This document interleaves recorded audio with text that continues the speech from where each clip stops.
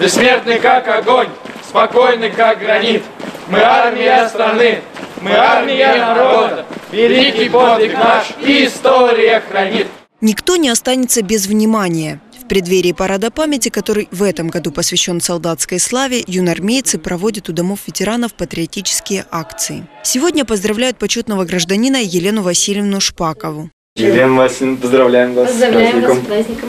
Символ своего времени – Елена Васильевна Шпакова. Она оставила Москву в далеких 50-х ради работы в Куйбышеве. Позже, благодаря ее труду, город получил народное название «Шоколадная столица». А ведь этого могло и не быть. За право построить фабрику боролись десятки городов. Москва, Ульяновск, Новосибирск, Киев. Победу уже праздновала столица, но Елена Васильевна смогла доказать, что лучший шоколад смогут приготовить только здесь.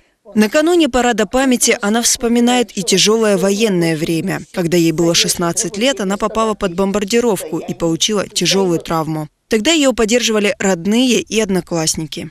готовы ходить на головах, вот чтобы только я могла улыбнуться хоть чуть-чуть, вот такое состояние. Ну, потом они подросли, они уходят на фронт, все мальчишки наши. Они, Лена, мы за тебя отомстим.